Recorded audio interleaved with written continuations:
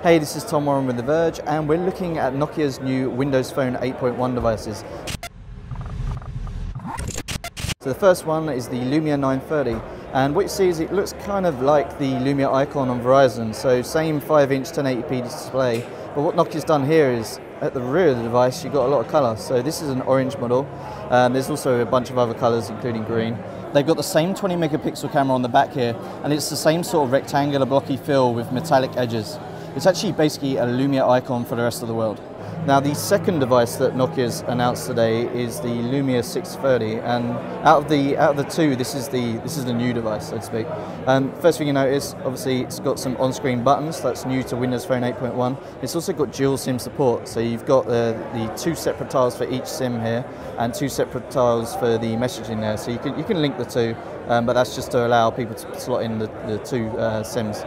Um, aside from that, a 4.5 inch display at the front here, and at the back you've got a matte finish and some crazy uh, green looking colour here. It's a lot like the Nokia X, and it kind of looks similar to the Lumia 620 as well. So you've got a kind of angular take at the back there. Uh, 5 megapixel camera at the rear. Um, other than that, it's a, it's a kind of standard Windows Phone device, aside from these on-screen buttons that allow you to navigate around and get into things like Cortana.